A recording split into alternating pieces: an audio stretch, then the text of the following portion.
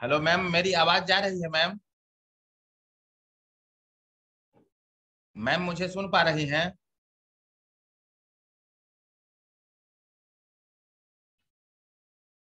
नहीं जा रही है आवाज़ नहीं है? सर कहा वो तो कुछ नहीं पता चल रहा है ना। हम्म।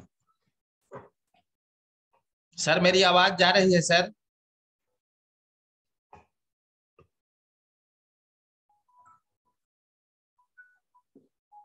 मुझे सुन पा रहे हैं सर?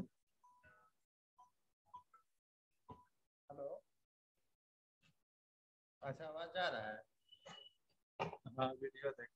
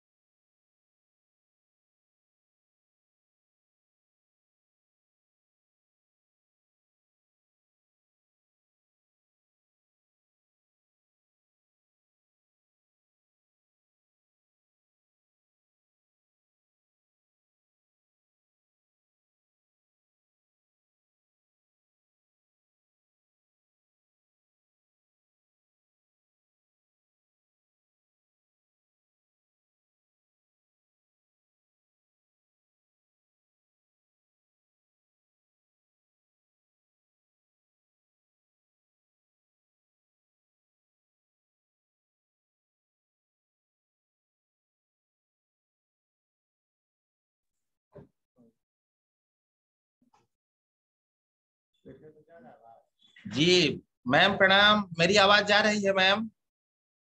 सर मेरी आवाज़ सुनाई दे रही है।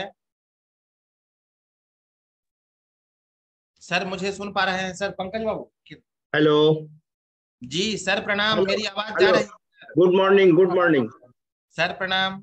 Yes. आवाज़ मेरी सुनाई yes. दे रही है sir. Now now I can hear you sir sir sir. ग्यारह बजकर छत्तीस मिनट हो चुके हैं और भारती मैम मेरी आवाज़ सुनाई दे रही है. जी मैम मैम प्रणाम मेरी आवाज़ जी मैम मेरी आवाज़ सुनाई दे रही है ma'am?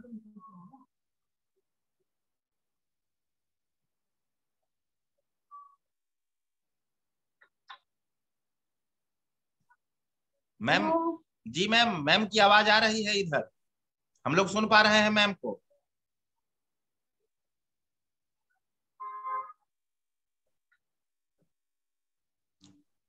Ma'am?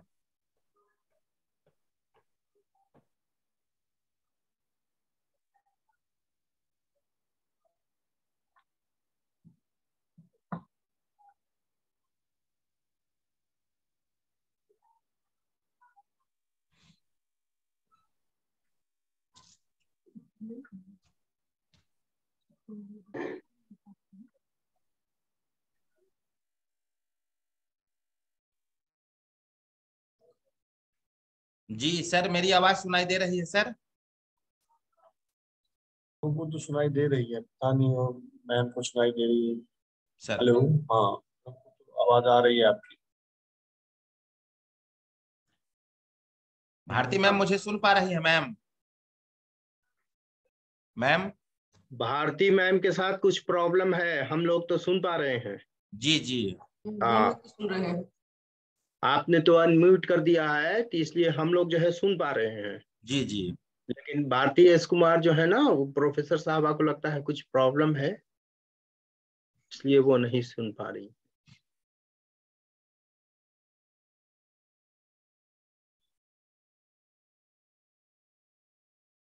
जी प्रणाम सर। सर आवाज़ मैम की नहीं आ रही है। मेरी आवाज़ उधर सुनाई दे रही है सर?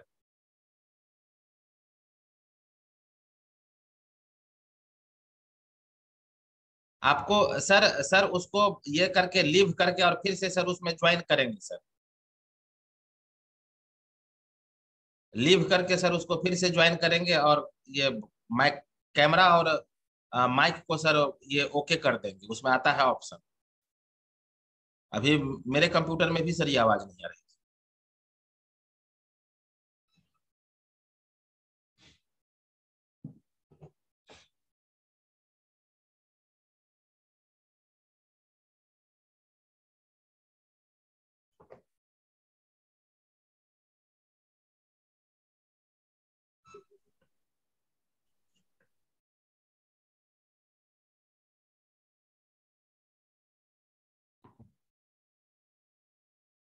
जी अब अब अब आवाज़ जा रही है सर।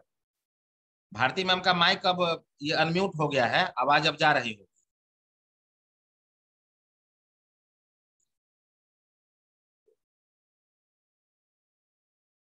उनकी आवाज़ हम लोग नहीं सुन पा रहे हैं। जी जी।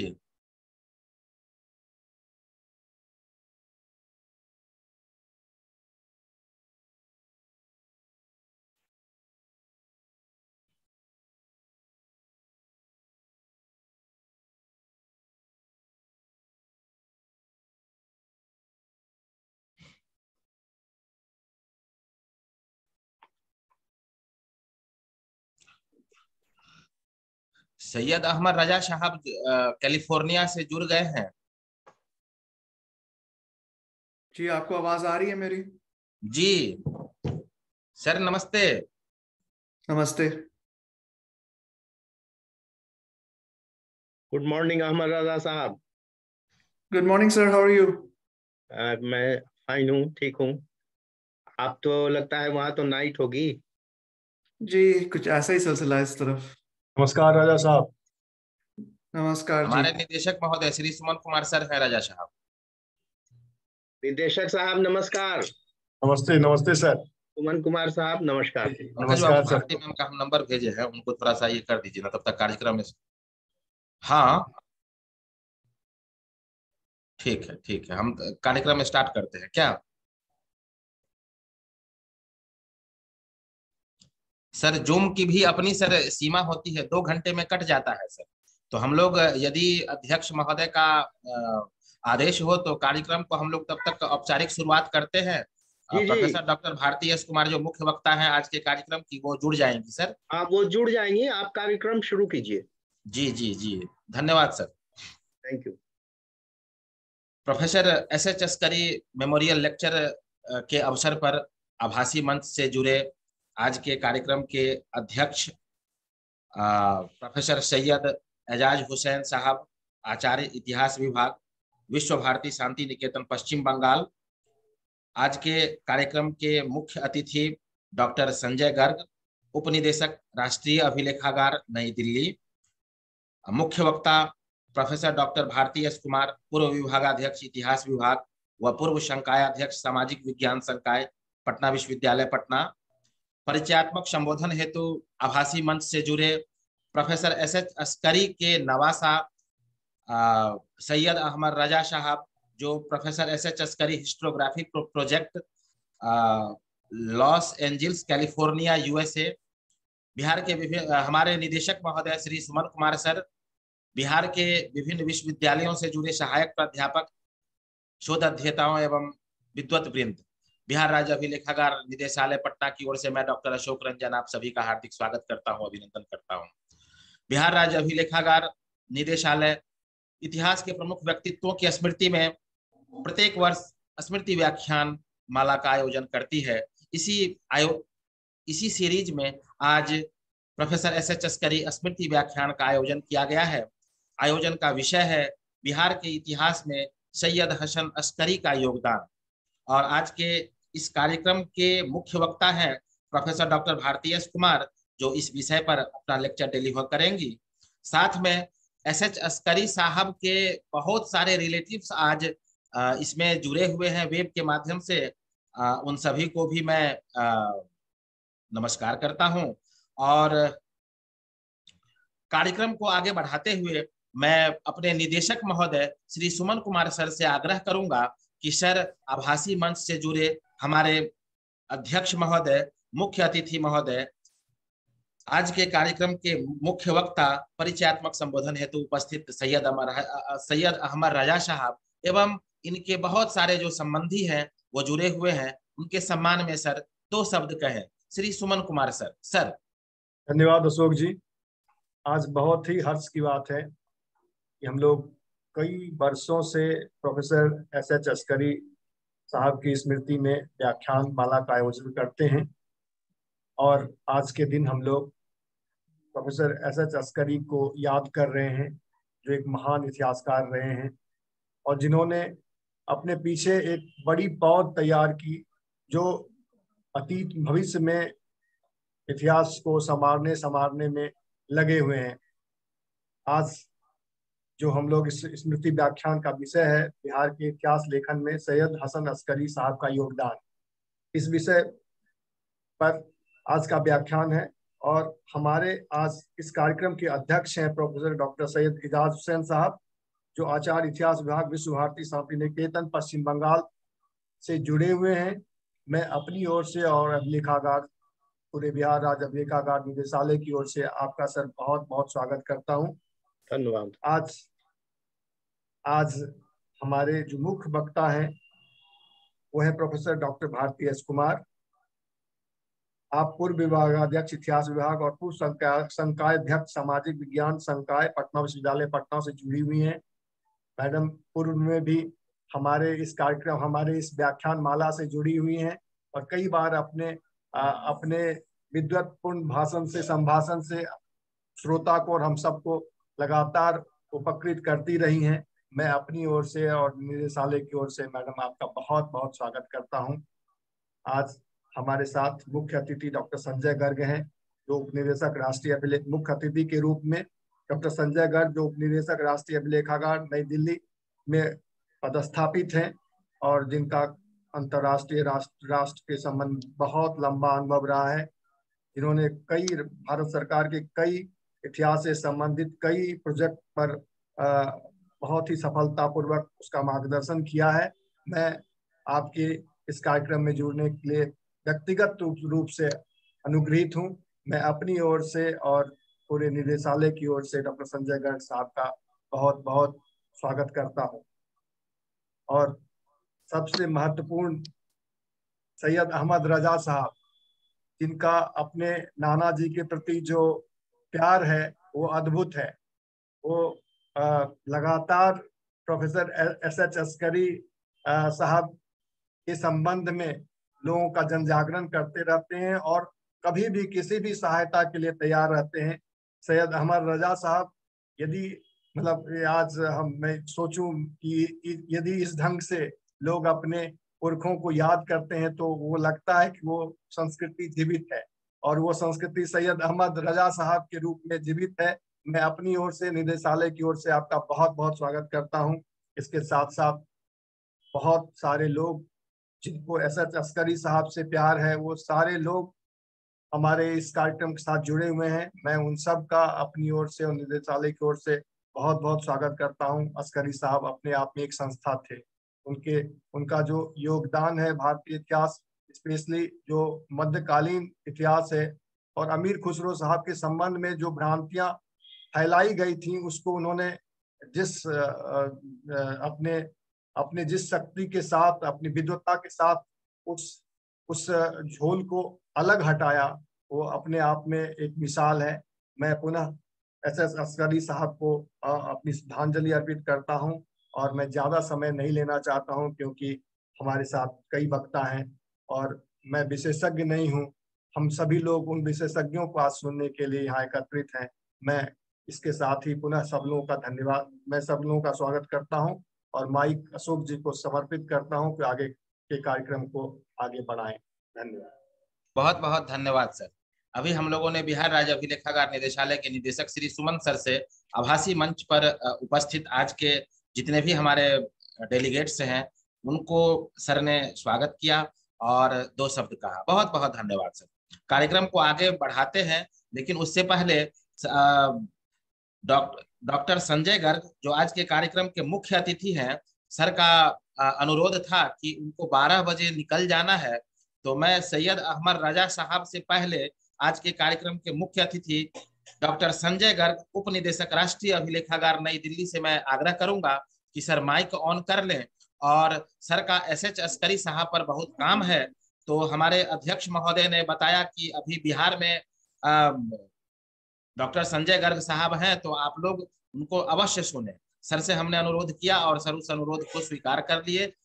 और अभी हम लोग डॉक्टर संजय गर्ग सर को आ, मंच पर बुलाना चाहेंगे। Shri Sanjay Garg sir sir. आ, नमस्कार। आ, सबसे पहले मैं बिहार राज्य अभिलेखागार निदेशालय की जो बड़ी अनूठी पहल है, जो प्रोफेसर अस्करी के सम्मान में कई सालों से ये मेमोरियल लेक्चर कराते आ रहे हैं, जिसमें बड़े बड़े विद्वान, इतिहासकार अपनी बात रखते हैं। एक नए पहलू से उनका जो काम है, प्रोफेसर अस्करी का, उसको समझने में हमें मदद करते हैं। तो ये बहुत सराहनीय पहल है, जिसका मैं बहुत बहुत स्वागत करता हूँ।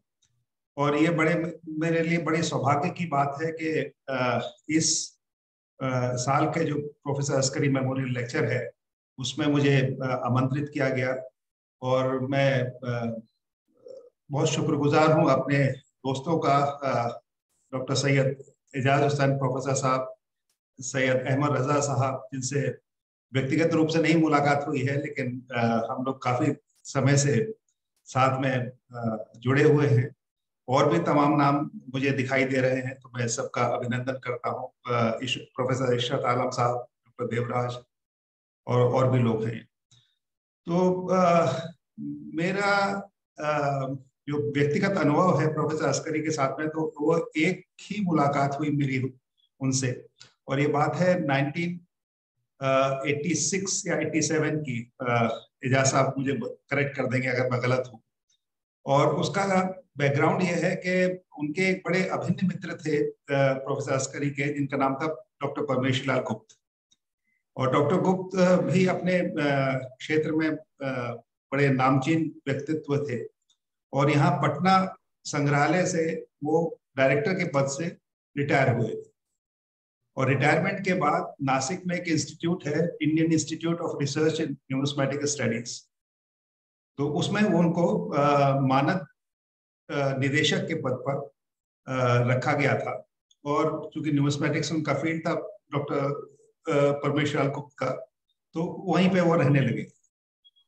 1985 में जब मैंने वो इंस्टीट्यूट ज्वाइन किया, और उसके कुछ ही महीने बाद एक प्रोजेक्ट था पटना म्यूज़ियम के, जो न्यूमस्मेटिक कलेक्शन है, कॉइन कलेक्शन है, उनको कैटलॉग करने का, डॉक्यूमेंट करने का, जिसका दायित्व मुझे सौंपा गया था। तो जब मैं पटना ये मेरी पहली विज़िट थी पटना के लिए। तो जब मैं आने लगा तो प्रोफेसर डॉक्टर गुप्ता ने एक चिट्ठी अपने हाथ से लिख के दी कि आप वहाँ जाइए तो खुदा बख्श लाइब्रेरी में ज़रूर जाइए। और वहाँ पे प्रोफेसर अस्करी हैं तो उनसे आप ज़रूर मिलिए और वो मिडिवल में जो आप, आपका भी फ़ील्ड है, उसमें वो बड़े मतलब सम्मानित व्यक्तित्व हैं, बहुत नॉलेजेबल हैं, उनसे आप जाके मिलिए। तो वो लेटर लेके मैं यहाँ पे पटना आया और खुदाबख्श लाइब्रेरी में आके मैंने पूछा कि प्रोफेसर अस्करी कहाँ बैठे? तो उनकी एक बड़ी मखसूस एक टेबल हुआ करती थी। मुझे अभी भी याद है, वो मार्बल टॉप की एक गोल रंग, गोल शेप की एक टेबल थी, उस पर वो बैठे थे। सर्दियों के दिन थे, धूप निकली हुई थी तो उसमें धूप में बैठे हुए थे और उनके साथ में एक नौजवान साहब बैठे हुए थे। तो मैंने जब लेटर उनको दिया तो उन्होंने वो लेटर जो था प्रोफेसर गुप्ता का डॉक्टर गुप्ता का, वो उस नौजवान को दे दिया, उस नौजवान का नाम था सैयद एजाज हुसैन। और कहा कि इसको पढ़ के बताइए कि क्या लिखा है। तो खैर, वो बात अपनी जगह है। लेकिन काफ़ी देर तक हमारी बात हुई, उन्होंने मेरे रिसर्च के बारे में पूछा प्रोफेसर अस्करी ने। और जितना मैंने उनको, उससे पहले भी जाना था, और इन सब आ, सालों में जो मेरे अपने रिसर्च के सिलसिले में तो हर एक आर्टिकल उनका जो मैंने पढ़ा या हर एक जो उनकी स्पीच मैंने सुनी पढ़ी जो छपी हुई है as a president of the Indian History Congress and so on तो केवल आश्चर्य मुझे होता है कि एक आदमी एक लाइफ में इतना सब काम कैसे कर सकता है? मैं राष्ट्रीय अभिलेखागार से जुड़ा हुआ हूँ और वहाँ के जो इंडियन हिस्टोरिकल रिकॉर्ड्स कमीशन है जिसकी स्थापना 1919 में हुई थी उससे बड़े क्लोजली एसोसिएटेड रहे प्रोफेसर करी बहुत सारी मैनेस्क्रिप्ट्स और डॉक्यूमेंट्स को उन्होंने पहली बार एकेडमिया के सामने रखा। तो ऐसे तमाम आ, उनके कंट्रीब्यूशन है मतलब वो कहावत कही जाए कि साहब सूरज को चिराग दिखाने के बारे में बराबर है उनके कंट्रीब्यूशन के बारे में कुछ भी कहना। so I look forward to hear the today's speaker if not uh, live then i would like to hear it in a recorded form because i have to move out so i'm extremely happy to be with you uh, all of you and uh, thank you very much for inviting me बहुत बहुत धन्यवाद बहुत बहुत धन्यवाद sir अभी हम लोगों ने डॉक्टर संजय गर्ग उप निदेशक राष्ट्रीय अभिलेखागार, नई दिल्ली से दो शब्द सुना। कार्यक्रम को आगे बढ़ाते हुए मैं प्रोफेसर एस एच अस्करी साहब के नवासा, सैयद अहमद रजा साहब से मैं अनुरोध करूँगा कि रजा साहब माइक ऑन कर लें और परिचयात्मक संबोधन हेतु हमारे जो आभासी मंच से जुड़े सुधी श्रोताजन हैं, उनको Syed professor Syed S H Askari sir के बारे में विस्तार से बताए। श्री सैयद अहमद रजा साहब। थैंक यू सो मच आपको आवाज़ आ रही है मेरी? हाँ राजा साहब आवाज़ आ रही है। मैंने एक प्रेजेंटेशन बनाई and I would try to see if I can get it done in 30 minutes और sooner trying to be sensitive to the time slot तो मैं शेयर करूँगा अपनी स्क्रीन अगर आप uh, की अप्रूवल हो अगर। बिल्कुल बिल्कुल बिल्कुल राजा साहब हम लोगों के लिए सौभाग्य की बात है। आ, आपने शायद डिसेबल किया हुआ स्क्रीन शेयरिंग उसको अलाउ कर देंगे तो मेहरबानी होगी बड़ी। बाबू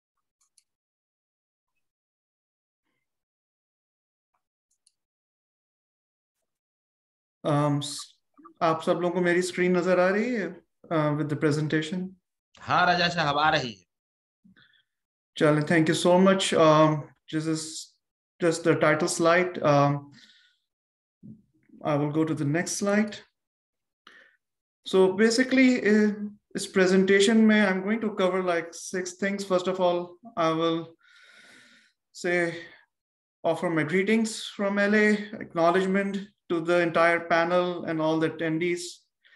I will do a brief overview of Professor Syed Hassan Askari uh, and then go for the histography project. What is it about? Uh, and then what were our challenges, what our achievements, and what was the progress. And then later on, uh, there will be some slides on what are what is in the roadmap for the next uh, one to five years or beyond. And then the final tribute and closing statement. So first of all, uh, I would really like to thank Sri Suman Kumar officials and staff of BSA for organizing such a great event. And they have been doing it for, I think, for more than five years. I came to know about it uh, three to four years ago. And for the last three years, they have been so kind to invite me as to present the introductory lecture. जिसके लिए I'm very much honored. Also want to thank Dr. S. Siddhar Saab, um, Dr. Bharti Kumar Saiba, Dr. Syed Ejaz Hussain Saab, Dr. Sanjay Garg Saab, Sanjay Kumar Singh Saab, and I'm noticing some of our family members, relatives, friends, and some people from academia, scholars and historians are also in the audience. So thank you so much for attending this. So Professor Askari, uh, basically, so I will be going back and forth between Professor Askari and we used to call him Nana Abbas. So, um, so just want to make sure there's no confusion from my end. So you can see from the slide, and I'm not going to read the whole thing. Uh, आप देख सकते हैं कि he was born in 1901, and I tried to uh, list all the key things, even though it was very difficult for me to summarize everything in one slide. It took me like five days to come up with this slide, you know. So if you notice, there are 21 published books, 250 plus research papers on different topics like medieval Sufism, Delhi Sultanate, Bihar's regional history, and I will go more into detail in the following slides.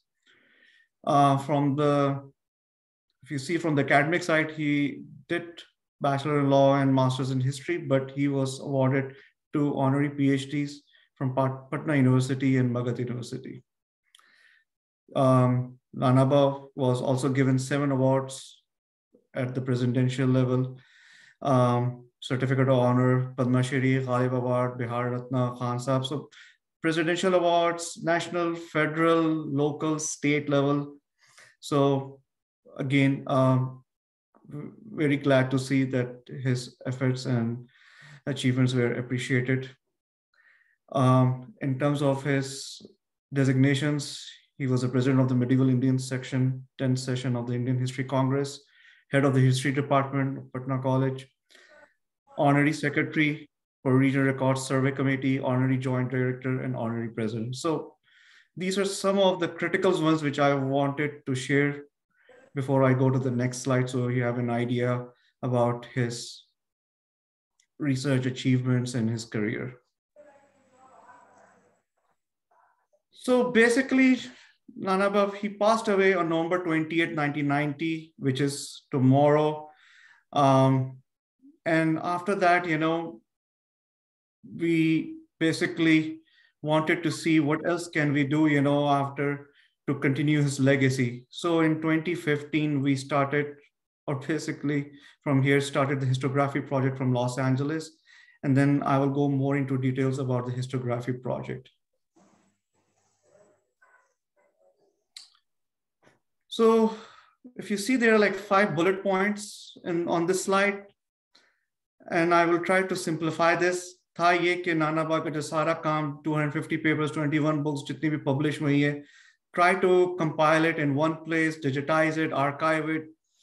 One thing you will notice कि आजकल सब लोग या तो internet पे हैं, um, everything is on apps, uh, social media is all over the place. So we wanted to make sure that सब कुछ compile करके, locate करके from his articles from 1936 all the way to 1990 and then the other publications after 1990 इनको ढूंढा जाए इनको जमा किया जाए so we we needed some sort of a platform secondly जब वो जमा करना शुरू किया locate करना शुरू किया which was an uphill battle क्योंकि first of all from my lack of expertise in the history section and not my field of expertise but still it was an effort के ढूंढ के जमा किए जाए और कुछ लोग कुछ प्रोफेसर और स्कॉलर्स के नाम भी कुछ मिलते जुलते थे so again it was a challenge but जमा किया गया उसको organized किया गया compile किया गया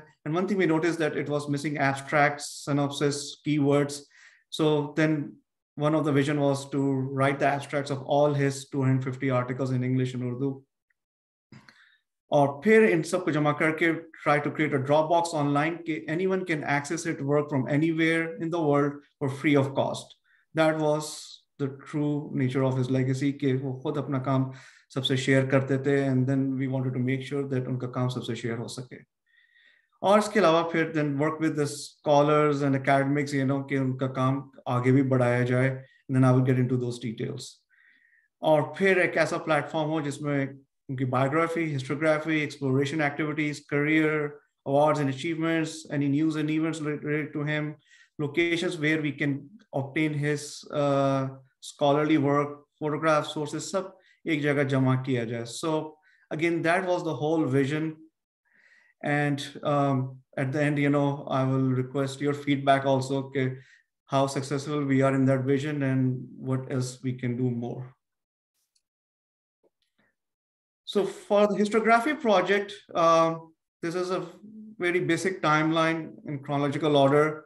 Started in 2015, 2016, author Facebook page foreign create किया गया जहां पे इनका काम जमा किया जाए 20, 2019 में वेबसाइट क्रिएट की गई क्योंकि Facebook was not very user friendly in terms of compiling his work and making it public you know so website was created and launched in 2019 2019 में wikipedia ने भी इनके ऊपर article publish हुआ um, क्योंकि everyone goes to wikipedia so we thought that was a good platform also uh, 2020 we worked with one of the ex-scholar of UC Berkeley and we started drafting abstract synopsis summaries of all his articles, which has been completed.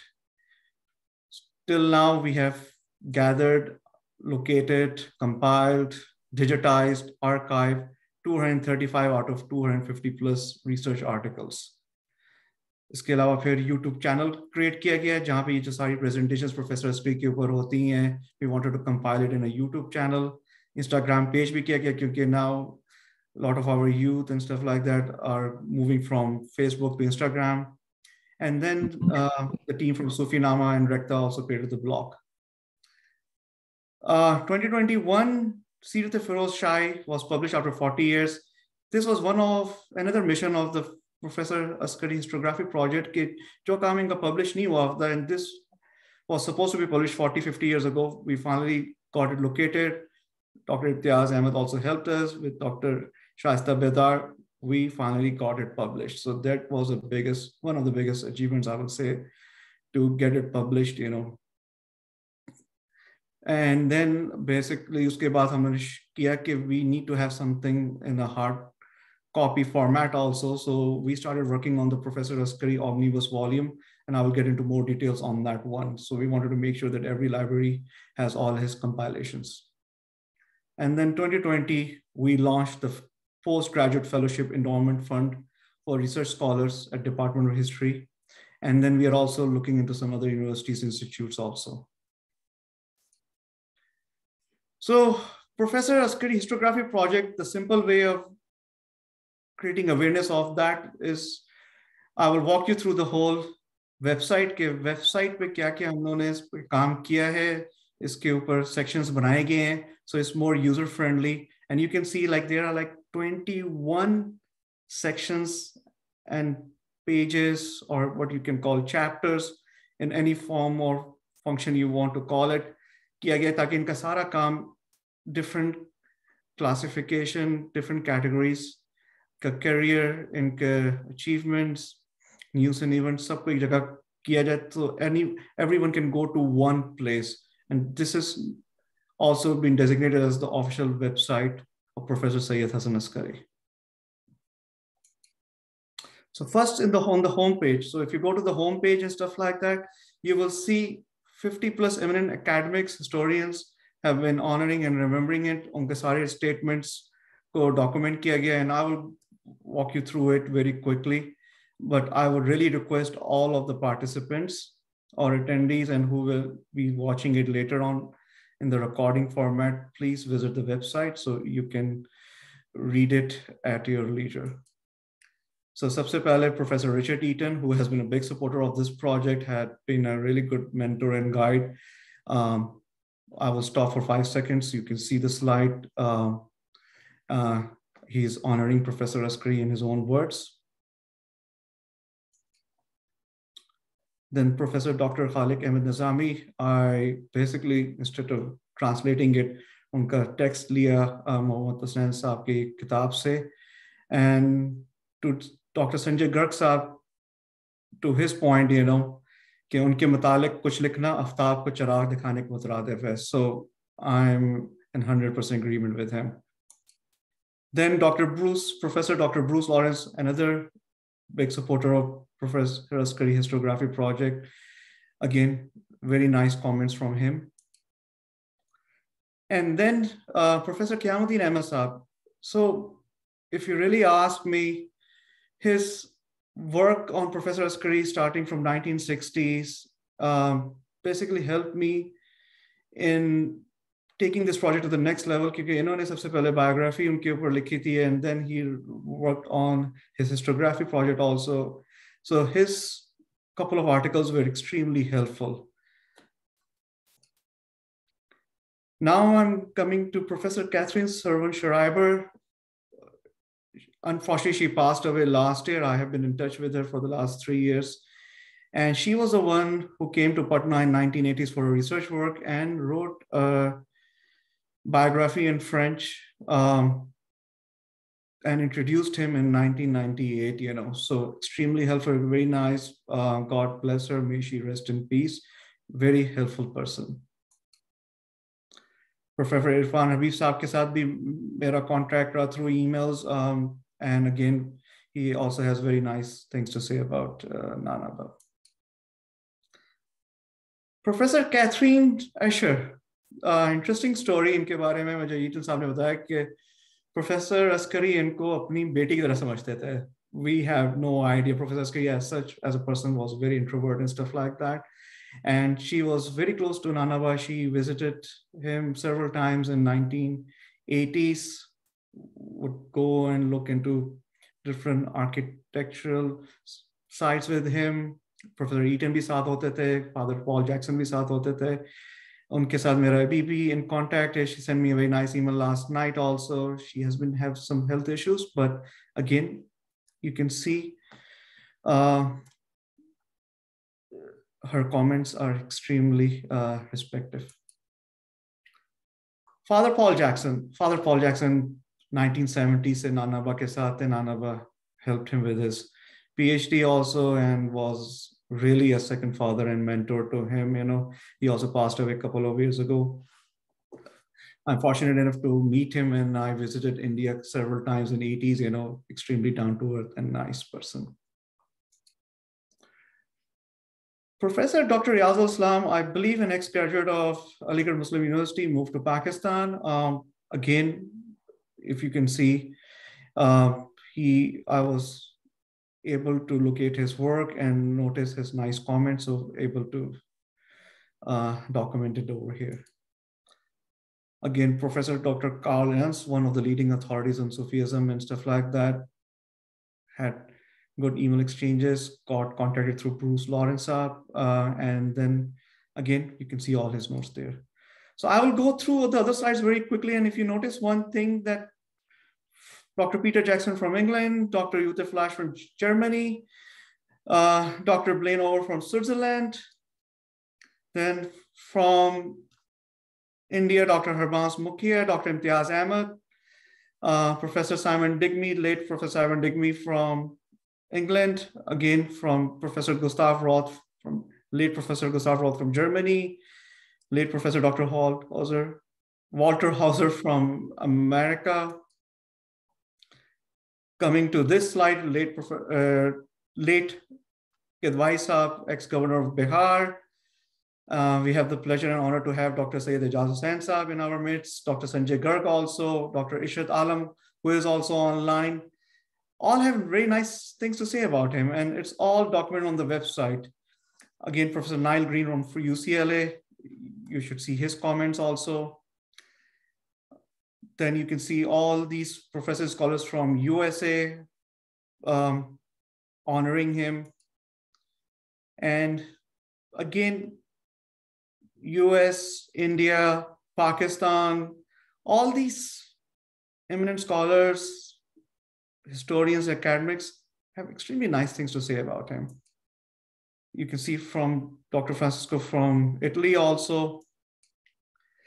So before I move into this next section, one thing, it's pretty obvious that Dr. Askari was a universal figure, even though he never traveled outside the subcontinent, but his work is all over the place. Everyone is citing and referencing him. Most of the people have met them, even the some who haven't met him know him very well. So again, an universal figure. If you go to the chronology section, uh, which is the second section, you will see his lifetime, his achievements, his career, and even beyond 1990, everything has been standardized, formatted, documented in this format, you know. Go to the biography section. So in the biography section, his biographical articles are in English, Urdu, Hindi, French, and German. German was recently done with help from Rida Ahmed. Uh, she helped me in tra translating one of the articles from English into German language.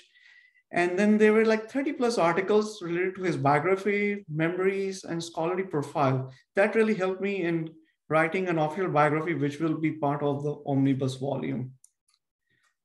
And if you go to this slide, you will see on the website, you will see his biography in English, French, and German.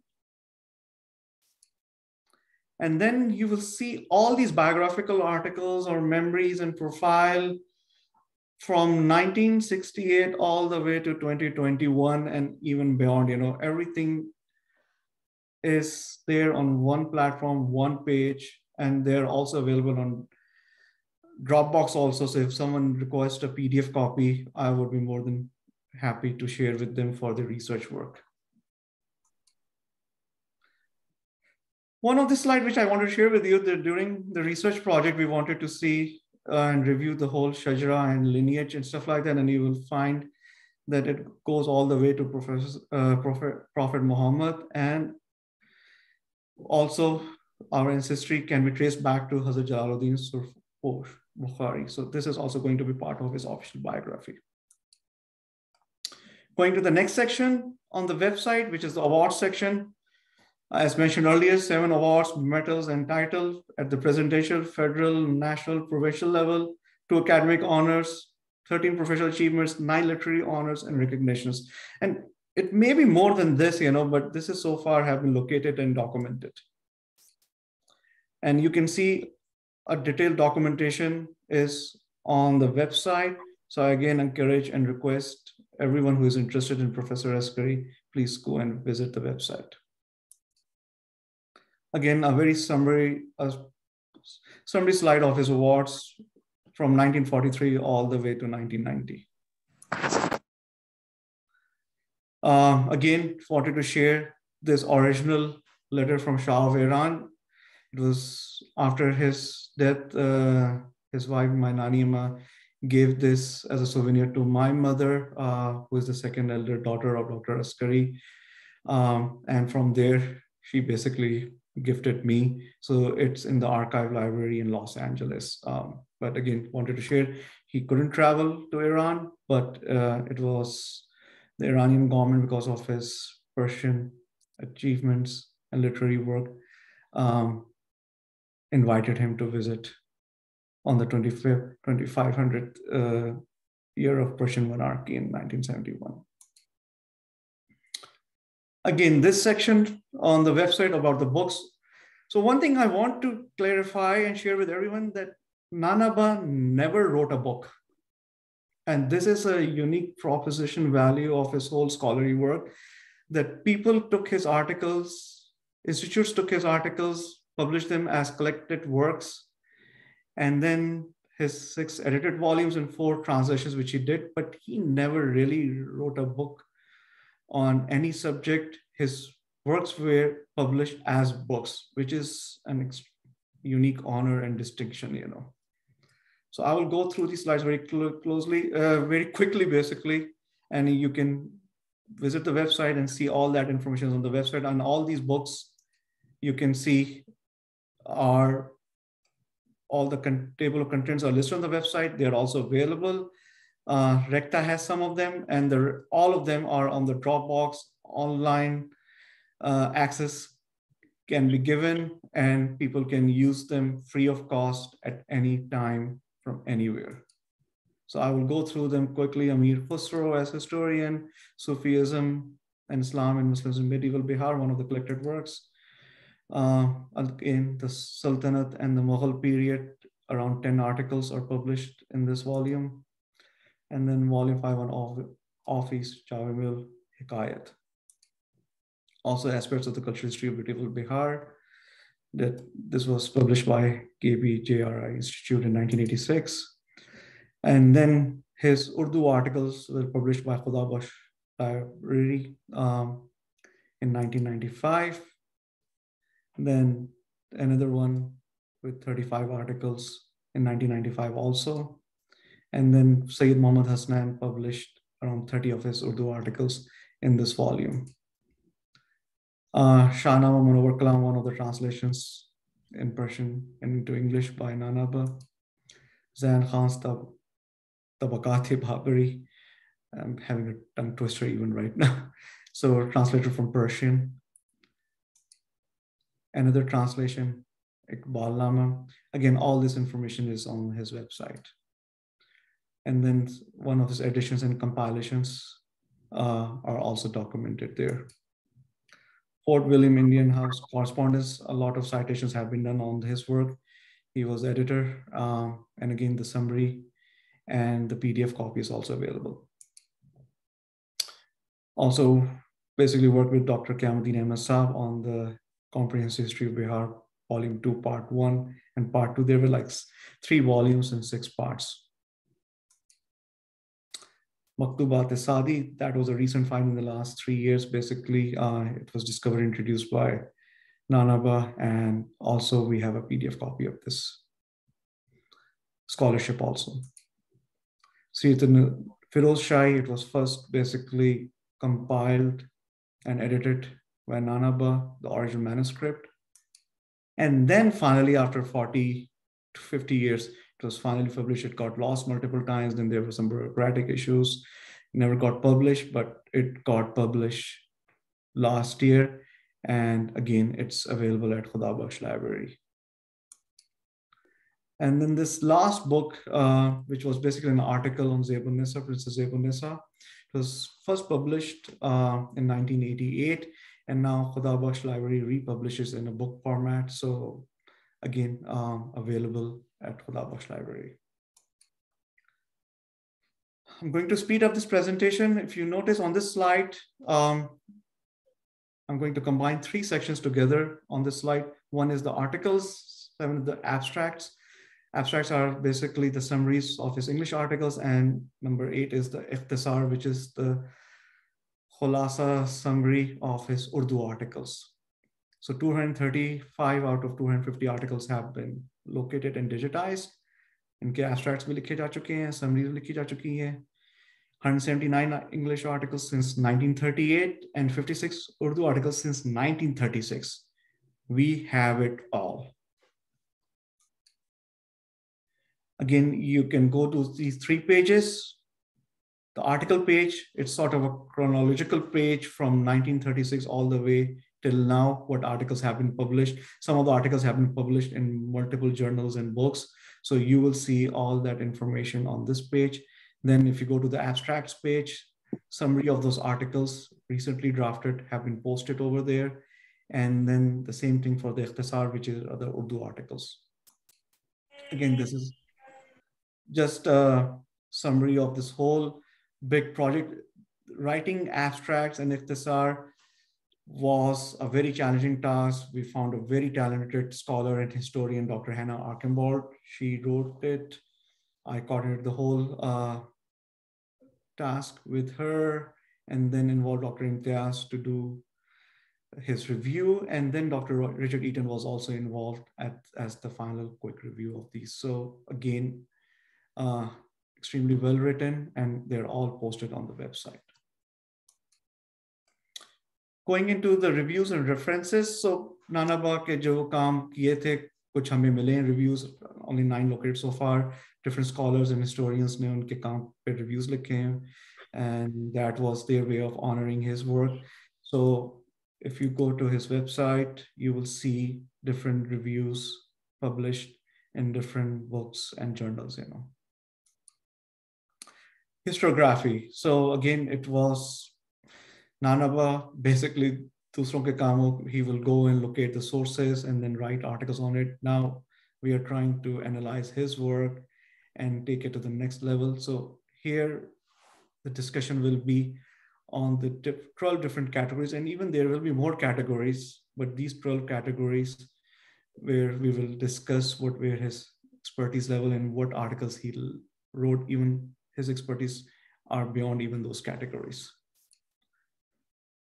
Historiography project में कि जब page पे आप जाएंगे so you will see a synopsis of that what articles he have written and again here I have cited Dr. Imtiaz Ahmed's and Dr. Kamuddin Ahmed's articles on his works where they went into great detail of uh, explaining कि उनका काम किन किन read eras किन किन uh, regions uh, किन किन personalities his manuscript. So I will walk you through the slides very quickly.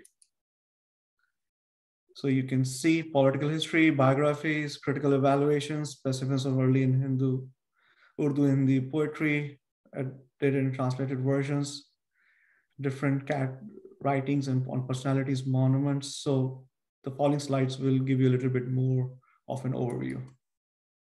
So the first was the original sources, which was basically he was a big fan of that, you know, or original sources, manuscripts go ढूंढते थे उसके then he would review them, and then he will write an article. So you can see all the articles are listed uh, uh, and are under the original sources. Secondly, new source material जो बिल्कुल किसी को नहीं पहले पता होता था he will go and find them in villages and small towns um, again if I start going through all of these in detail it will take me the whole two days, you know, so I will try to be sensitive to the time allo- allocated to me. Political history, Kupuram ke 25 plus articles. History of political history of provincial Bihar were 26 plus articles. Political history, provincial Bengal and Orissa with three plus, and it can be more, you know. These are the ones which we have located so far. Language and literature plus seven plus articles religion and cultural history for 21 plus articles you can see that and if you want more details please visit the website religious and cultural history on Sikhism, which was a very new find. It was never documented anywhere in any book or any article. Um, it was a find two, three years ago and just came across it and found that there were like 15 small brief articles, paragraphs on these topics, you know. And again, they're all digitized and available online. Under multiple classifications, this is a fun one here there were some topics here which was very difficult to classify them or categorize them. So we just left it under multiple classifications, but we will keep on working and see if we create more classifications and categories. So it gives you an idea of 15 plus, you know. Again, he wrote reviews of other people, other scholars' works also. So again, you can see that list here. On contemporaries, at least uh, Dr. K.K. Datta Saab and Kaleem Ahmad Saab, and there is one more which we recently found. So there are at least two plus, I believe there are three at least, three to five. But again, uh, we are going through some of the articles and doing our due diligence here. Uh, on, on, some of his writings, he wrote introduction, foreword, and prefaces. I think it's 16 plus. According to the latest count, day before yesterday, it was like 21 plus. You know, again, all of this have been listed, and please feel free to review it at your leisure.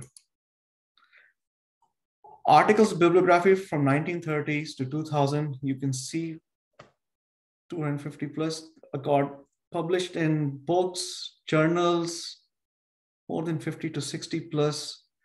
Some of them were repeated in some of these journals and everything is listed on the website on this section. So it's easier for someone to find it um, for their research work. Going to this section exploration. So this was basically considered as one of the favorite activities of Nanaba that he was really into the exploration that he went through thousand plus historical documents and manuscripts and the sources I will discuss with you where we got the sources. And from those, then he started writing. And that's why he always said that he doesn't have enough time and for this, he needs a lot of time, lots of years to go through them and make them public. So again, he still did a lot of stuff, which very few can do, you know. So he, the exploration activities when he was uh, Bihar Survey Committee, he was a joint secretary. He was a secretary over there. Then he became the president also. During that time, he will go and visit different villages, towns, dargahs, different places far away also for weeks and stuff like that. If you come across a manuscript or any other documentation, and then basically um, bring it back, write an article, and make it public through his scholarly works.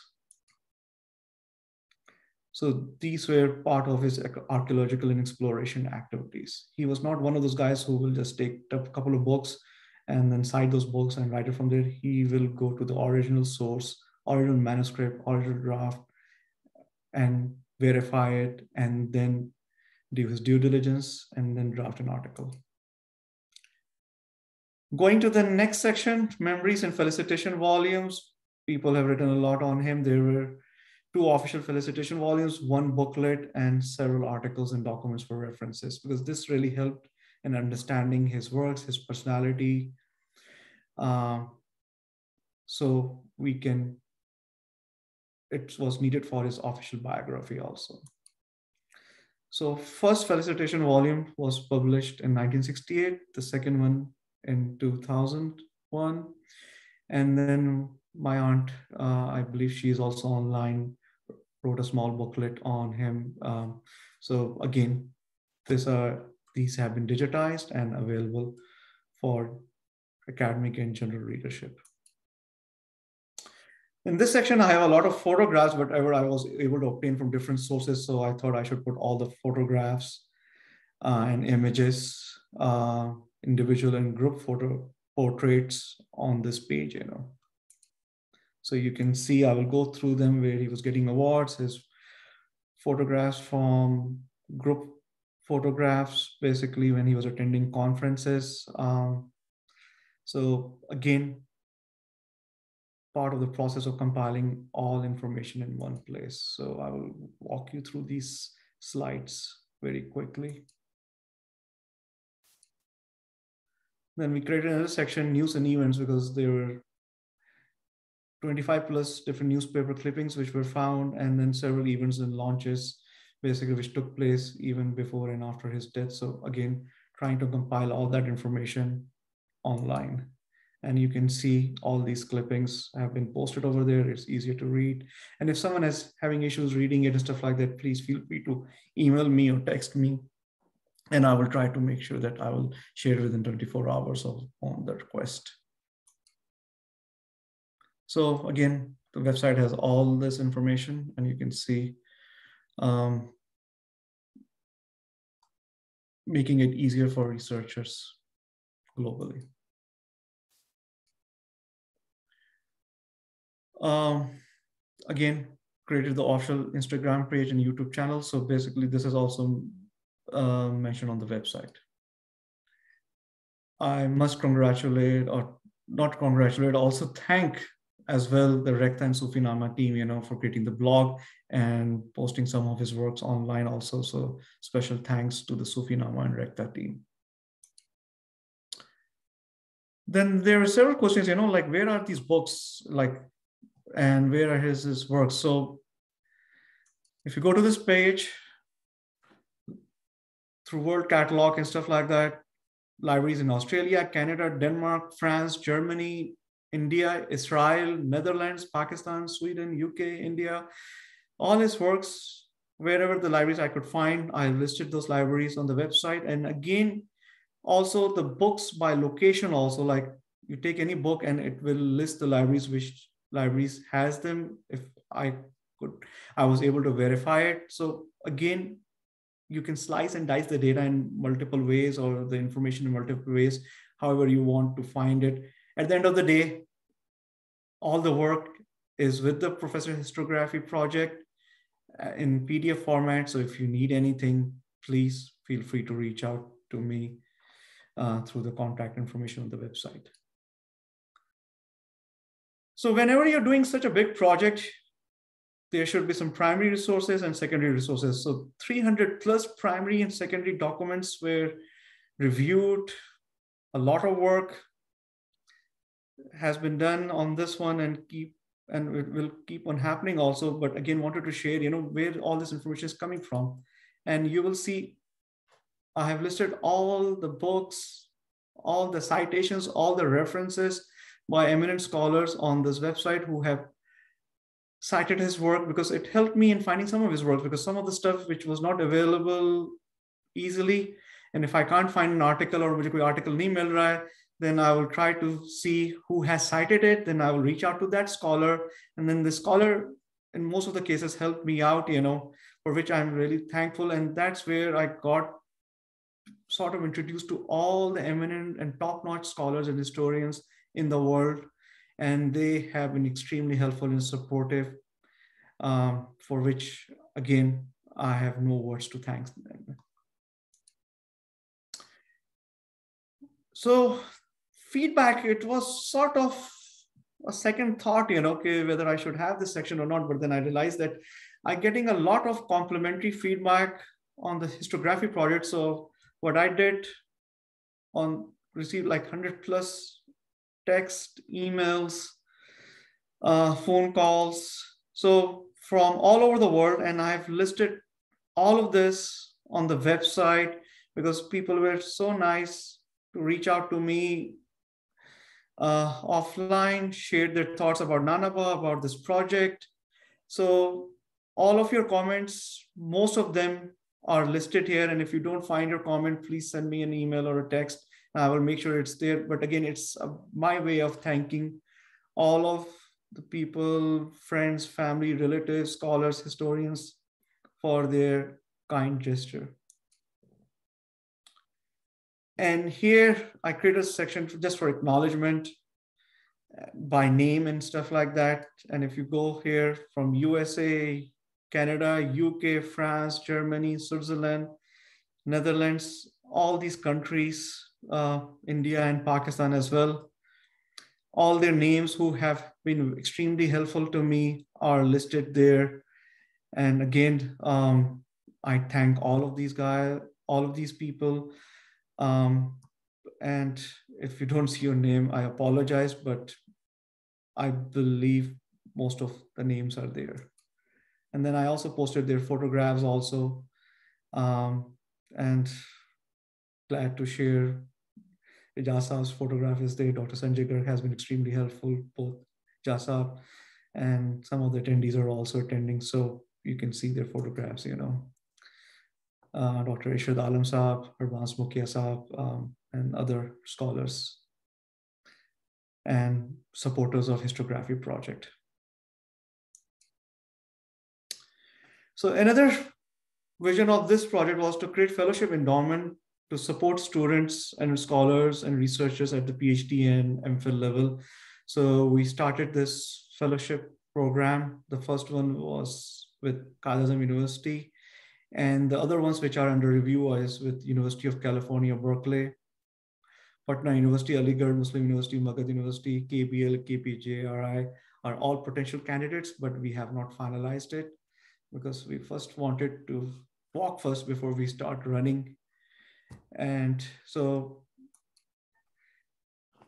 and this basically uh, was a discussion with Dr. Imtiaz Ahmed also in, in one of his writings what I was coached and mentored was that in any project, you know, there are like three steps, especially in the history project.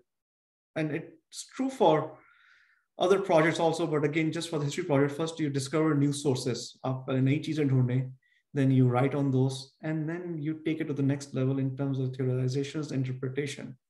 So Nanapa basically did the first two, and the third one he left on other scholars and historians to take it to the next level. So what we are now doing with these fellowship program is to not only financially support the scholars in at the MPhil, master's, or PhD level, but also help them doing research on his work or related to his work to make sure that his work is immortalized and subco what we all wanted to do is to take his work to the next level in the sense of सबको से फायदा हो सके और जो नहीं हो पाया था we do a better job in editing and formatting it also and this this is the need of the hour so we have already started working on this also um, then again there are so many online links and stuff like that so page was created where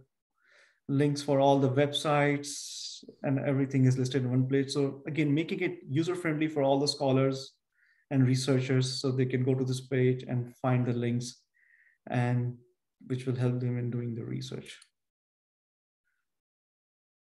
This one, uh, this was a tough one, you know. I wanted to stay off the grid, wanted to stay in the background because it's not about me, it's not about anything else, it's all about Professor Askari.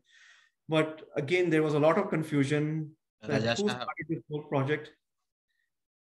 And I'm just trying to wrap it up very quickly. Sorry, I'm wrapping it up in like two minutes.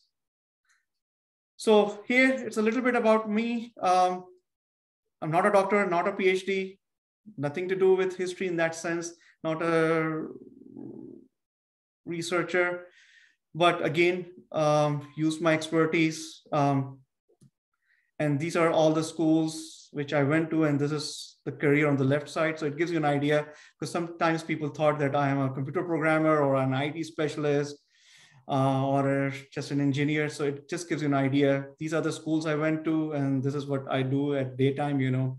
So again, at nighttime, I work on these ones. So again, can, I can be contacted on this page. And then recent findings from KPJRI, from Khudabakhsh Library, some new articles which we found, and then current and future projects drafting and publishing in Omnibus Volume 1. Endorsements have been received from all these eminent scholars. And then going for Omnibus Volume 2. And this is last, second last slide, which really describes Professor Askari by one of his friend, Dr. Jagdish Narayan Sarkar Saab. So again, it's all on the website also. Again, from the bottom of my heart, I thank you all of you for your patience. Hopefully I didn't bore you enough. And I also apologize for maybe exceeding my time, and thank you for reminding me. Thank you, and have a great day.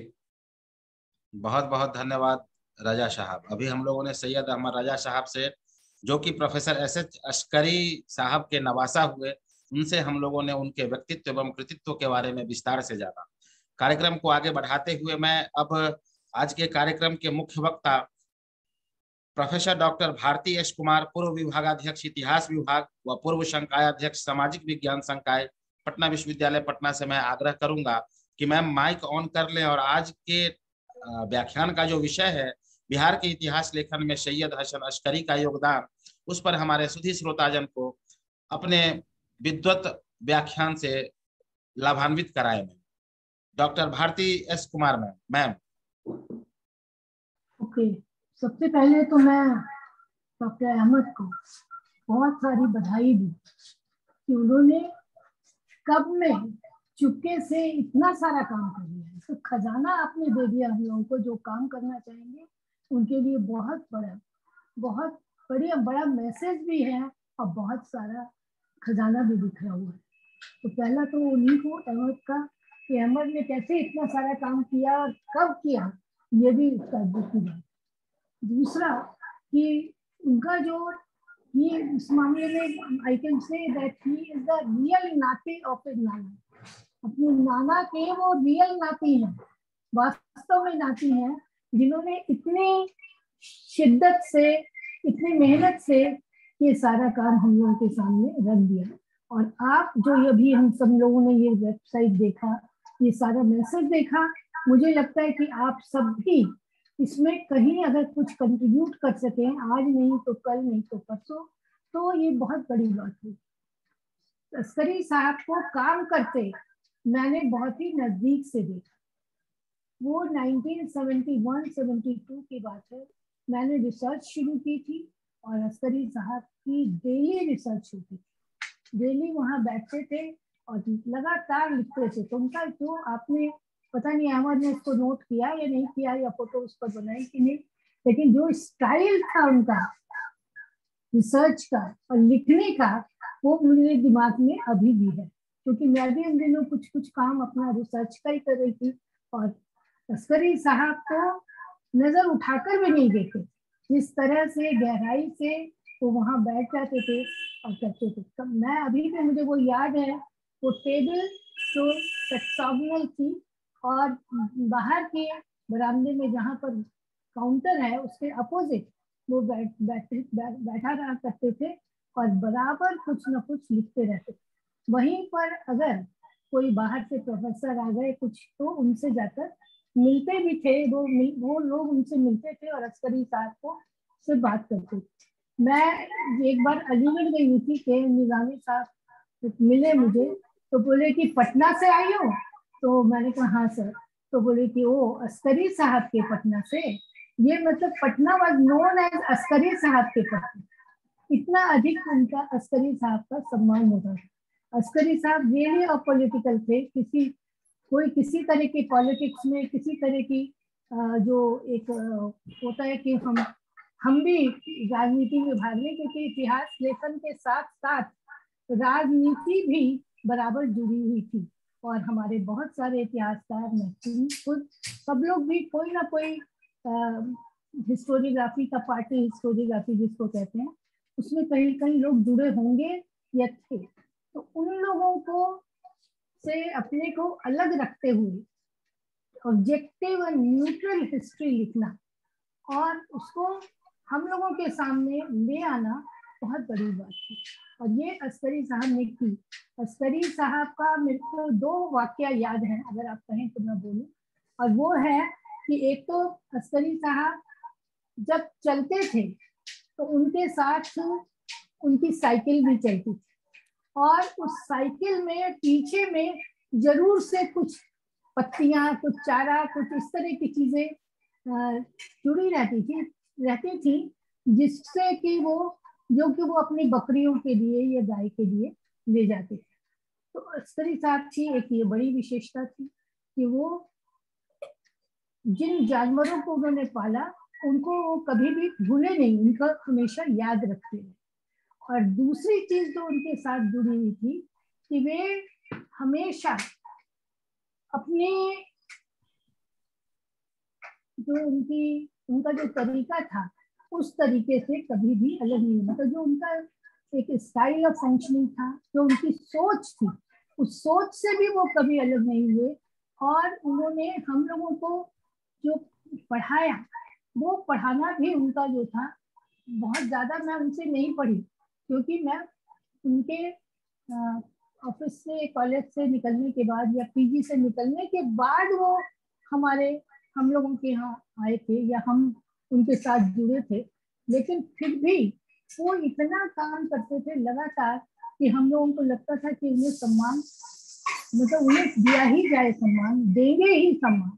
और सबसे interesting था कि जब वो कभी कभी कहीं से निकले तो पटना यूनिवर्सिटी का जो पोस्ट ऑफ़िस था, उस पोस्ट ऑफ़िस में हमें कोई चिट्ठी डालनी है तो वो गए। और चिट्ठी डालने के दौरान ही उन को लगा कि कहीं पर यहाँ पर बहुत हरी हरी पत्तियाँ हैं। तो वो तोड़ने चले जाते उन दिनों पुलिस का बहुत अधिक वो था, दबदबा था और पुलिस वाले जाकर उनसे उलझ जाते थे कि ये क्या कर रहे हैं? तो वो कुछ बोलते नहीं थे, आगे बढ़ जाते वो पुलिस वाला पीछे पीछे, हम लोग अगर बाई चांस बस से निकल रहे हैं या हम लोगों ने देखा तो उसको पुलिस वाले को कहते थे कि तुम किससे उलझ रहे ये हमारे पटना विश्वविद्यालय में देश की शान है और तुम उन्हीं से तमीज से बात नहीं करो तो कहता था, माफ़ी दे दीजिए मुझको मुझे को नहीं पता था कि इतनी बड़ी शख्सियत तो सरी साहब की जो शख्सियत थी, वो भी एक मतलब काबिल तारीफ़ थी। और दूसरी तरफ़ मैं एक चीज़ और जानना चाहूँगी कि अंजर साहब ने रजा दो में वो कैसे इतना इंटरेस्ट आया? What prompted him to collect all the matter नाना साहब का इतना सारा नाना जी का अपना कलेक्शन उन्होंने किया वॉट प्रॉम्प्टेड हिम क्योंकि बहुत सारे बच्चे तो नाना के कमरे में भी नहीं जाएँगे अगर वो किताब से इतना भरा हुआ है। तो और आप जो है वो बराबर काम कर रहे हैं उनके ऊपर। ऐसी क्या प्रेरणा थी? I want to know that inspiration क्या है। Thank you so much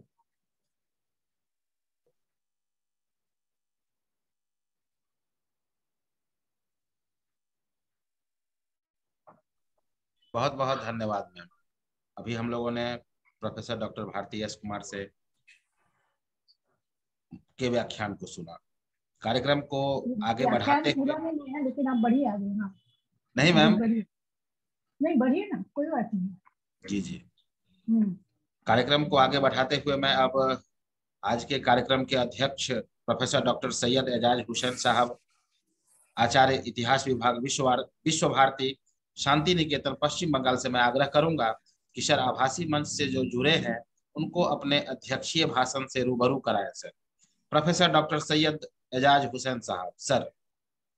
thank you मैं सबसे पहले बिहार स्टेट आर्काइव्स के डायरेक्टर सुमन कुमार साहब का आभारी हूँ। मैं उन्हें धन्यवाद देता हूँ कि उन्होंने इस सिलसिले को जो अस्करी साहब का व्याख्यान माला उन्होंने शुरू किया है हर साल, उसको अभी तक उन्होंने जारी रखा है।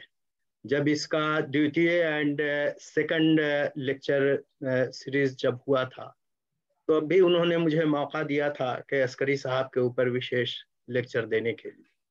तो उस टाइम में मैं पटना गया था, लेकिन इस बार इतफाक से मेरा पटना जाना नहीं हो सका। तो मैंने उनसे अनुरोध किया कि अगर आप अलाउ कीजिए तो मैं ऑनलाइन इसमें पार्टिसिपेट करूँगा।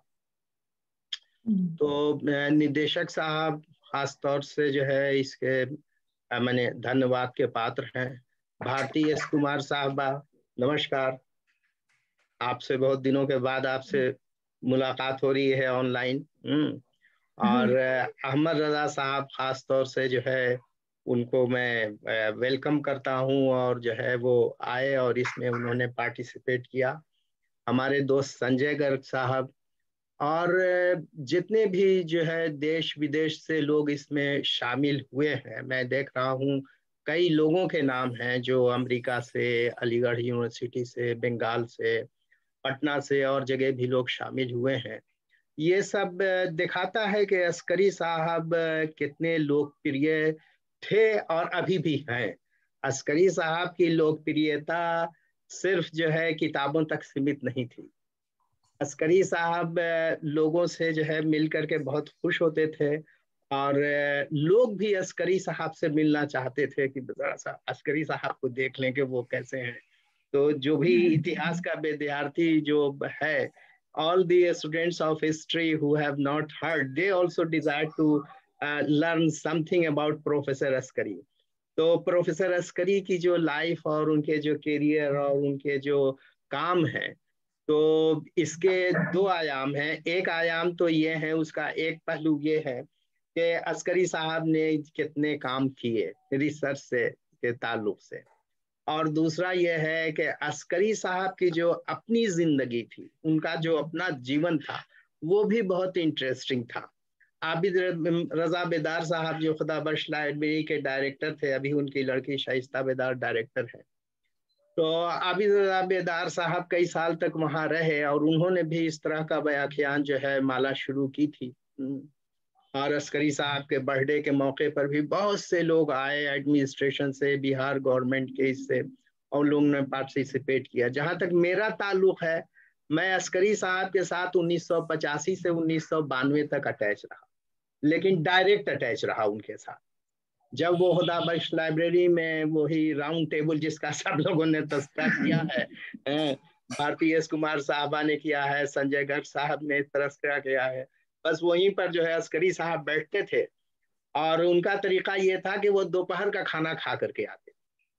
और आकर के फिर वहाँ वो बैठते थे तकरीबन दो बजे से। और पाँच बजे तक बैठते थे तो मेरा जब जब मैंने रिसर्च का काम शुरू किया तो अस्करी साहब ने कहा कि तुम आकर के मेरे साथ बैठो। हम्म। तो हमने कहा कि ठीक है। तो अस्करी साहब से मेरे कुछ घरेलू जो है ताल्लुकात भी थे पुराने। हमसे अस्करी साहब ने चूँकि उनके साथ रोज बैठना होता था तो कुछ अपनी पर्सनल बात भी वो बताते रहते थे। और उनके साथ जब मैं बैठता था तो बहुत से लोग आते थे और हमसे भी परिचय जो है कराते थे अस्करी साहब। उसी में संजय गर्ग साहब भी थे। तो अस्करी साहब ने हमको एक बड़ी इंटरेस्टिंग बात ये बताई थी एक बार कि उन्होंने बीए करने के बाद बीएल किया लॉ किया उन्होंने ग्रेजुएशन में। ये बहुत कम लोग जानते हैं। तो जब उन्होंने लॉ। किया तो उन्होंने सोचा कि अब हमको प्रैक्टिस करनी चाहिए। लीगल प्रोफेशन में जो है, उन्होंने सोचा कि मैं जाऊँगा। तो वो चले गए आरा। और इतफाक से हमारे घर से उनके जो है पुराने संबंध थे तो वो हमारे घर में ही ठहरे हुए थे। चूँकि मेरे घर के लोग भी इससे जो है जुडिशियरी से अटैच थे। तो वो गए प्रैक्टिस करने के लिए तो उन्होंने हमसे बताया कि एक महीने में जो उनका इनकम हुआ, वो था बारह आना।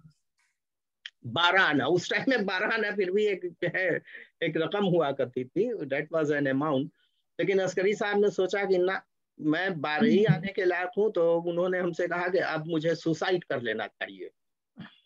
और अगर खुदा नखास्ता वो ये कर लेते करते नहीं तो फिर ये क्या होता?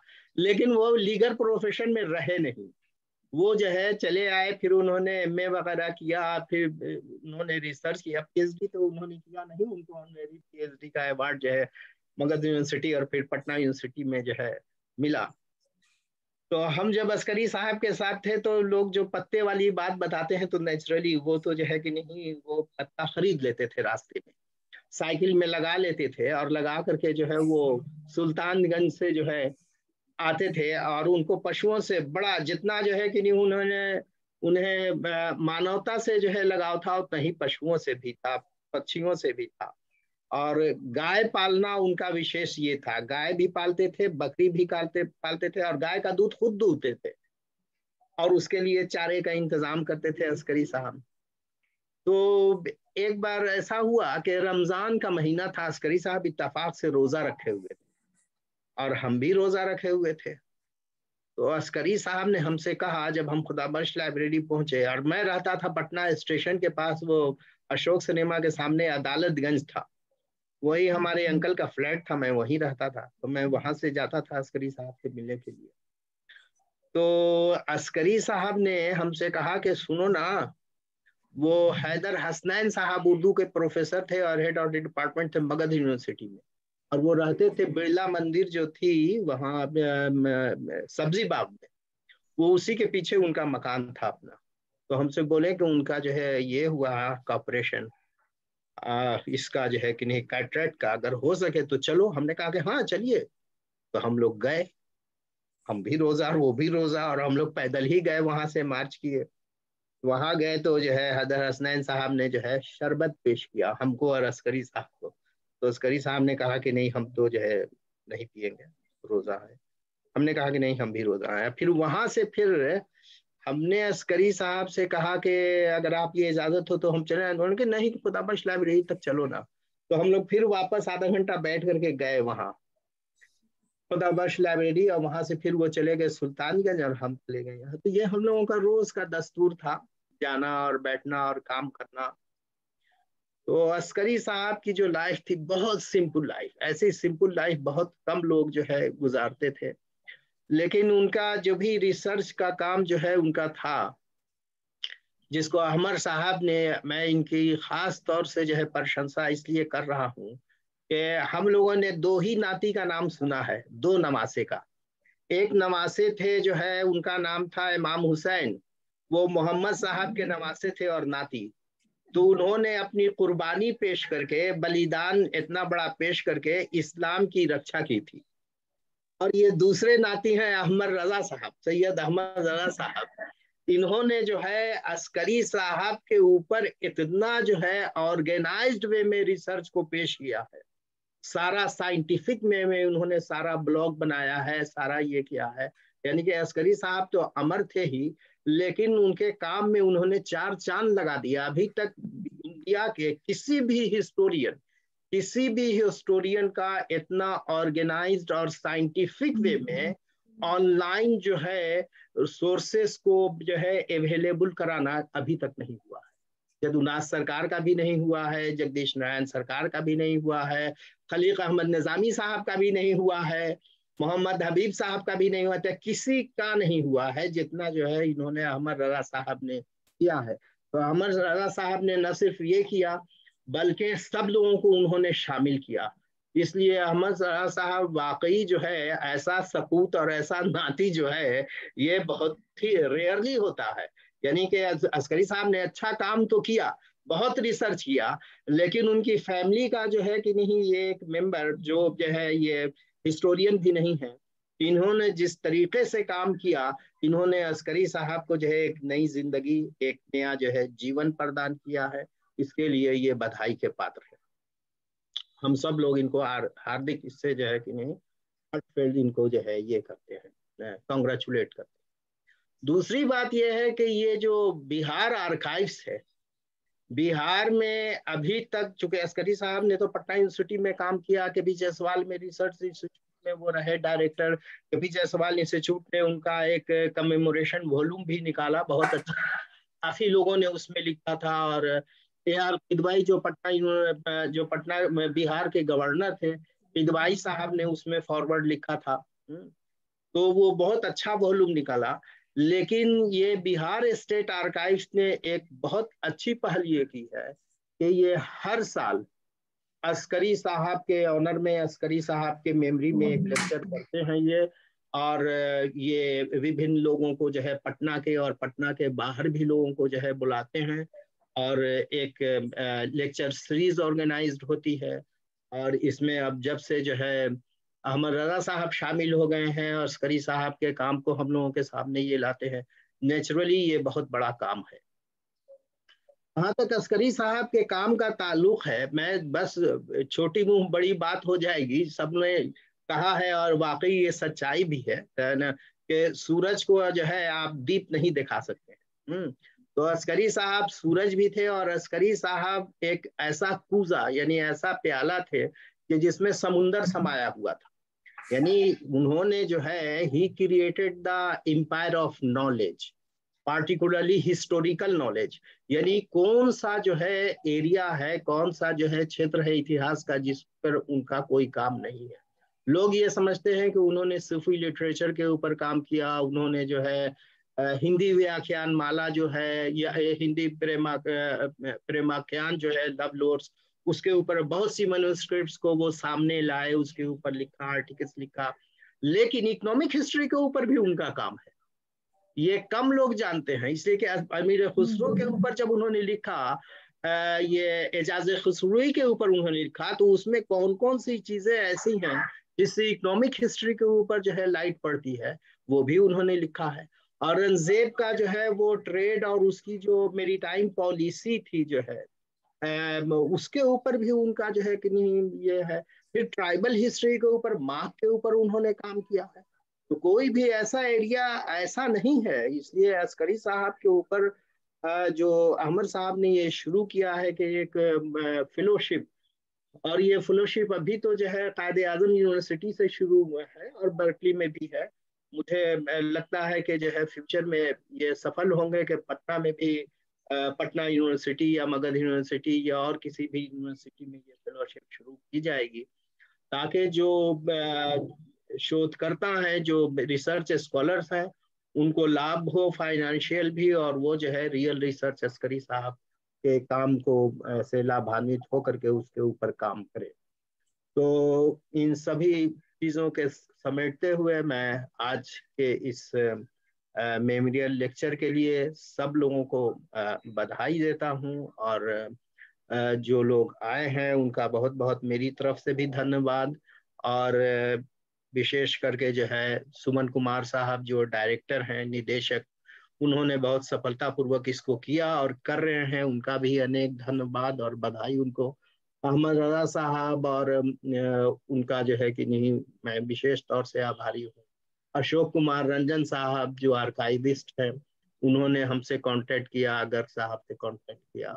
उनका भी मैं बहुत बहुत दिल से उनकी जो है उनको बधाई देता हूँ और उनका शुक्रिया अदा करता हूँ।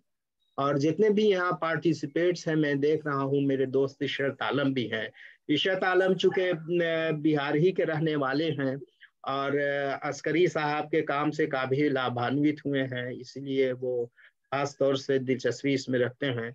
और कहना तो नहीं चाहिए, लेकिन फिर भी चूँकि ये जो है सुमन साहब इसको ऑर्गेनाइज कर रहे हैं, इसलिए अगला जो है ये लेक्चर जब होगा नेक्स्ट ईयर तो मैं इसे, मैं उनसे अनुरोध करूँगा कि इशत आलम साहब को वो इनवाइट करें पटना और इस उनको अस्करी साहब के इसमें जो है वो शामिल करें ताकि वो आकर के लेक्चर दे।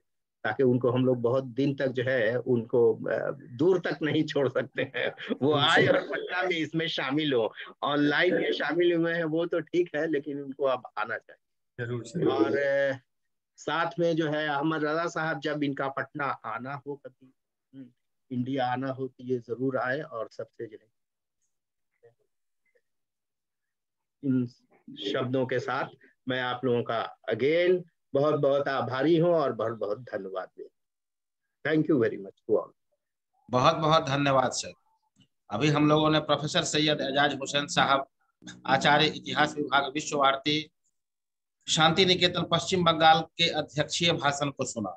कार्यक्रम शनै शनै समाप्ति की ओर अग्रसर है और इस क्रम में मैं अब अपने कलीग्स डॉक्टर भारती शर्मा से मैं आग्रह करूँगा कि मैम माइक ऑन कर लें और आभासी मंच पर उपस्थित जो हमारे विद्वत जन हैं एवं वेब के थ्रू से देश विदेश से जो जुड़े शोध अध्येता हैं, विद्वत वृंद हैं, इतिहास प्रेमी हैं, उनके सम्मान में धन्यवाद ज्ञापन करें। Doctor Bharti Sharma ma'am.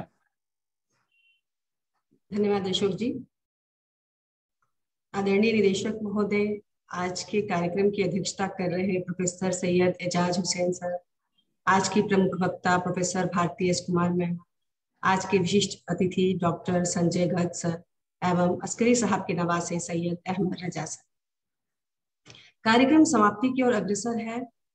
धन्यवाद ज्ञापन करने से पहले मैं प्रोफेसर सैयद हसन अस्करी साहब को अपनी हार्दिक श्रद्धांजलि अर्पित करती हूँ, जिनकी स्मृति में आज इस स्मृति व्याख्यान का आयोजन किया जा रहा है।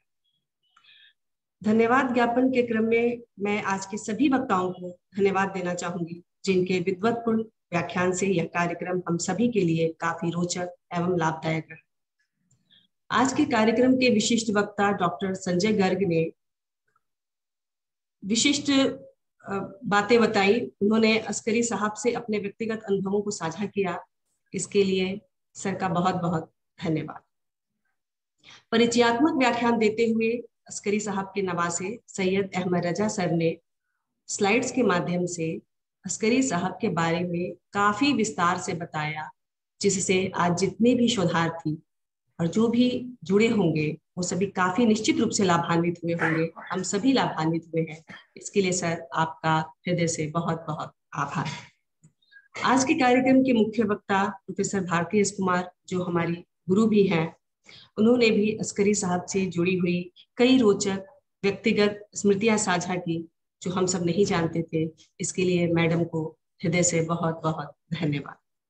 आज के कार्यक्रम के अध्यक्ष प्रोफेसर सैयद एजाज हुसैन सर ने अपने अध्यक्षीय भाषण के लिए बहुत बहुत धन्यवाद। उन्होंने अपने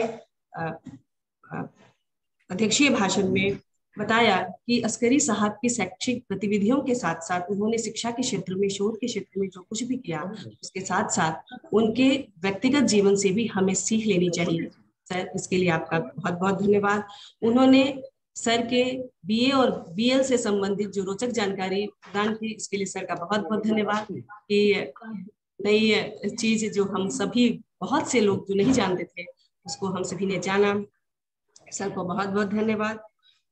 अब मैं निदेशक महोदय को धन्यवाद दूँगी, जिनके प्रोत्साहन और सहयोग से यह कार्यक्रम सफलतापूर्वक संचालित होता है। हमारे सहायक निदेशक, तकनीकी विशेषज्ञ और सभी श्रोतागण, विशेषकर इशरत आलम सर को बहुत बहुत धन्यवाद जो हमसे जुड़े हुए हैं। और एजाज अहमद सर ने सही कहा कि हम लोग इशरत सर को सुनना चाहेंगे। हम लोगों ने बहुत समय हो गया है उन्हें सुने हुए और हम लोग उन्हें सुनना चाहेंगे। और अहमद रजा सर भी जब भी पटना आए तो हम लोग भी उनको रूबरू हमारे आर्काइव्स में आए। और हम लोग उनसे देखे और सामने से सुने तो हम लोग काफ़ी सौभाग्यशाली महसूस करेंगे अपने आप को। और अस्करी साहब को कई सम्मान से सम्मानित किया गया। उसमें से एक हम लोगों ने भी बिहार राज्य अभिलेखागार ने भी एक शोध कक्ष का नाम अस्करी साहब के नाम पर रखा है।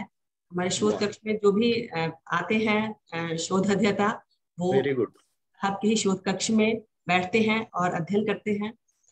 और उनकी स्मृति में तो हम लोग व्याख्यान का आयोजन कर रहे हैं। तो अस्करी साहब हस्ती ही ऐसी थे, जो बिहार का गौरव थे, देश का गौरव थे और हमारे यहाँ